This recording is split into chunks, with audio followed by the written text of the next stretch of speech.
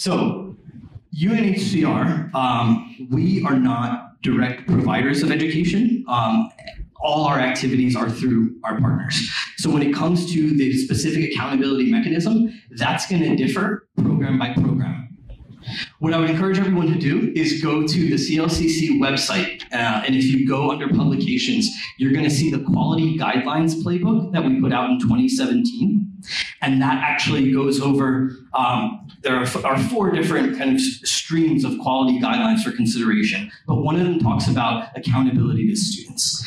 And then what you said was accountability to the whole community. And this is the point that I would like to emphasize. Um, it is essential to bring in the host community as well. If we single out refugee learners and refugee students as only uh, being the, the recipients of these opportunities, that's going to create friction for them in their communities where they live. So we have to make sure that we are also opening up these opportunities to host community students.